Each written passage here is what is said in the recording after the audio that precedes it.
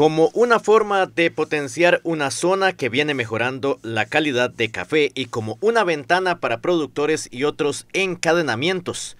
Así destacaron en el Instituto del Café de Costa Rica la feria que se realizó en San Juan Norte de Rivas durante el fin de semana. Nosotros como instituto estamos muy orgullosos de apoyar a esta primera edición del, café acá en Chirripó.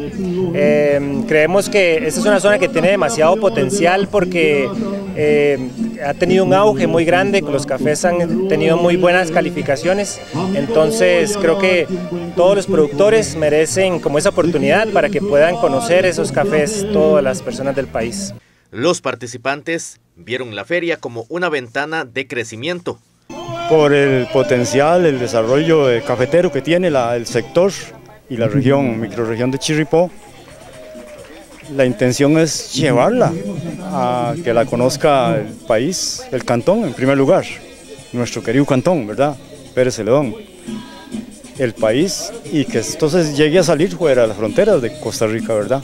Es muy importante porque se da a conocer la zona, ya que Pérez Celón siempre ha sido como catalogada muy mal café, pero en realidad no es así, más la zona de Chirripó, que ahora último estamos viendo que tiene muy buenos cafés. Lo que rodeó a esta feria también fue otro aspecto que destacaron los expertos. Por, lo que podemos ver, hay un montón de, cafés de la zona, de especialidad, y también hay eh, un montón de artesanías, personas eh, dispuestas como a dar a conocer sus productos.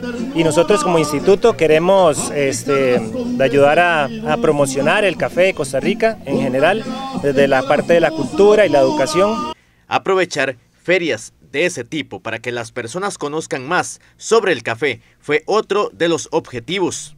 Bueno, nosotros como instituto eh, tenemos, trabajamos bajo, bajo dos pilares, que es apoyar a los productores para que mejoren la producción en sus, en sus fincas y también la parte de promoción, que es eh, mostrar a todas las personas lo que es eh, los diferentes métodos de cómo se puede preparar café y que existen muy buenos cafés de especialidad acá en el país.